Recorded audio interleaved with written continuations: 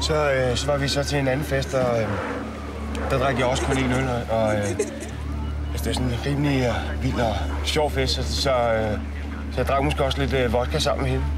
Jeg tror altså, at, øh, at Michael han skal altså hurtigt af, øh, afsted. Det er min bedste ven, jeg, jeg har kendt ham lige siden vi var små. Så. Men altså, I kan jo bare spørge øh, Michaels kæreste, fordi øh, alle de andre de var meget mere fulde, end jeg var. Og Michael han ville slet ikke kunne køre, så, så, så det var derfor, at, at jeg kørte.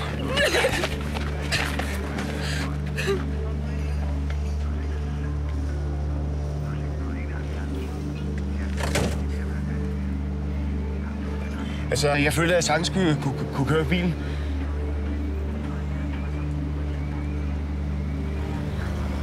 At... Han er ikke død, eller?